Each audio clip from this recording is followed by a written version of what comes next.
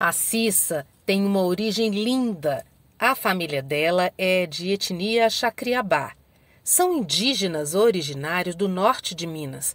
Os traços do rosto, a filha dela, a Lorena, herdou, junto com o amor pelas origens. O meu povo mesmo é de uma de uma raça específica chamada língua branca, mas que viveram junto com os chacriabás e se, é, e se colocaram e se posicionaram no Vale de São Francisco, na região de Januário, como os chacriabás. A Lorena é design de moda e a Cissa é arte educadora. Elas amam falar da beleza da moda que tem raiz em produções indígenas, principalmente porque elementos da cultura indígena podem ser utilizados na moda de maneira geral. Um exemplo é o tingimento sustentável. Olhe bem esta peça em renda. Foi tingida com açafrão. Bom, e são muitas curiosidades neste cenário. Quer ver só? Aqui a Lorena está mostrando um tecido e ele foi tingido com coloral. Exatamente isso aqui, né, Lorena? E deu uma, deu uma coloração alaranjada muito bonita. Isso. Na pele ela fica vermelha, né? Mas no tecido ela fica mais alaranjada. Agora eu quero é uma demonstração, porque ali, nessa, nesse recipiente aqui, tem chá preto.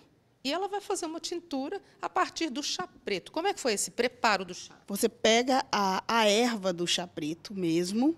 é, mas se você não tiver a erva da natureza, você pode comprar ela em casas especializadas uhum. e vai ferver, vai umedecer. Vai deixar o. Está úmido aqui. Está úmido aqui, porque foi umedecido com o, é, a água com vinagre. O vinagre tem a função de. de acrescentar acidez no tecido que vai ajudar melhor o pigmento a grudar no, na fibra do tecido. É, o, teci, o, o chá, para ele receber o tecido umedecido no vinagre, ele tem que estar tá bem quente, porque o calor vai expandir a fibra. Expandiu a fibra, é, colocou o tecido na, no chá quente, já, já, de, pré, já na fervura mesmo, ele já vai ganhando a cor, tá vendo? E demora muito esse hum, processo da fixação? Não, demora não. Deixa ele aqui uns 10 minutinhos na, no chá eh, já fervido, depois retira o tecido já pigmentado, coloca ele para esfriar e depois dele frio, você já pode é, enxaguar.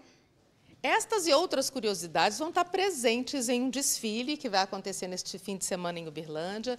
Lorena, o que, que vai ter no desfile? É, eu produzi algumas peças, eu e a minha mãe, né, a gente produziu algumas peças com, com esses tecidos tingidos, né?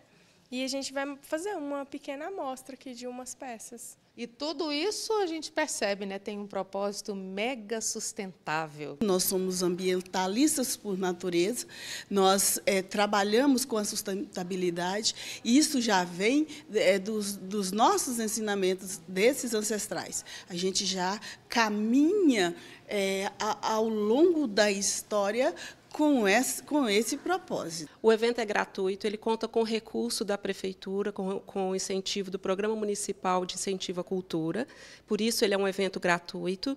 Ele vai se, acontecer aqui, na Galeria Cucré, às sete e meia no sábado, agora dia 25 com as peças que a Lorena e a mãe dela fizeram, para mostrar para a gente que a moda cotidiana ela pode ser diferente. Ela pode ser com tingimento natural, com acessórios indígenas, trazendo para as nossas composições do que a gente já tem no nosso guarda-roupa, acrescentando isso. E é mega sustentável.